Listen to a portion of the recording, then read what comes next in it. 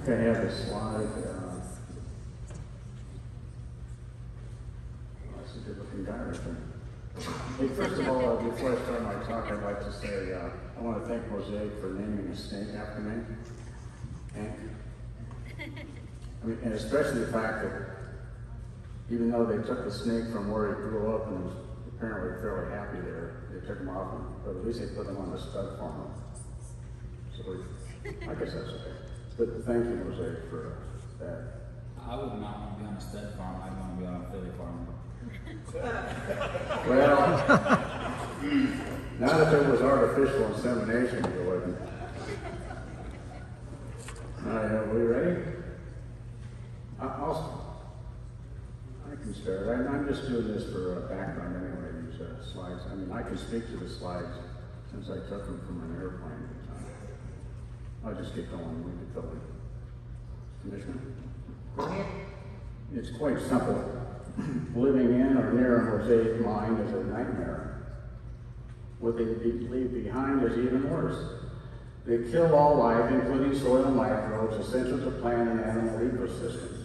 Mosaic pushes over trees, burns vegetation with range fires, bulldozes down several feet to kill all life, destroys the topsoil down 15 feet, digs up the land down to 70 feet, leaves behind toxic clay pits over one-third of the land, fills the holes with white processed sand that have no microbes to support higher life.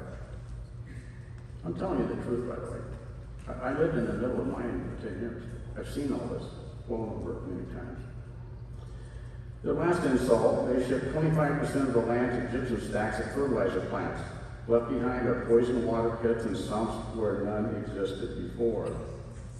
What lives on natural land before mining will be G-O-N-E, gone, along with the soil.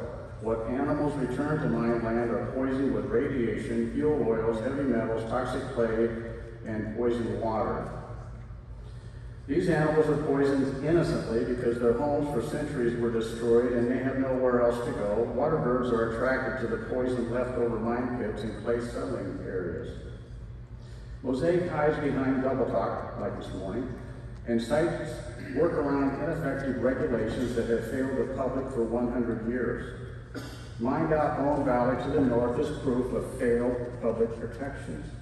Mosaic cannot get native trees to grow on mine land, so they plant exotic trees not native to Florida that are fire accelerators. Florida DEP approves this as something they call reclamation.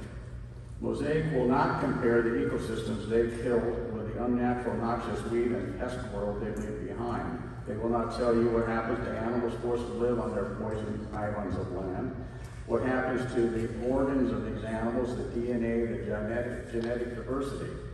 Mosaic will not compare critical soil composition and microbiosystems of native land with the noxious wasteland and poisoned pits they leave behind.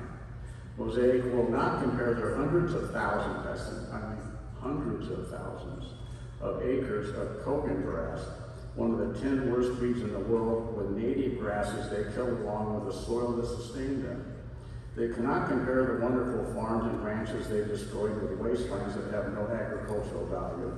DeSoto has wonderful deep soils, native plants, and abundant and abundant native wildlife. This ecosystem has evolved over thousands of years. It cannot be replicated. Mining is a mass extinction event for the native plant, animal, and microbe species. So? Describe to the north. Look what they did to Hardee and Polk County. I mean, I live there. Uh, do you want to have that here? Uh, I don't. So, how much time do I have left? About.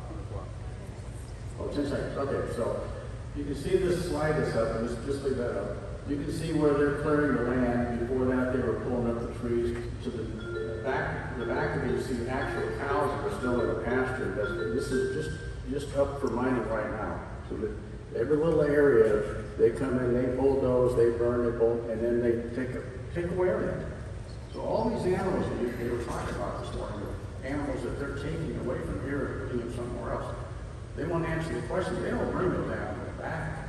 They're not bringing those gopher tortoises back. Okay, thank you. Thank you.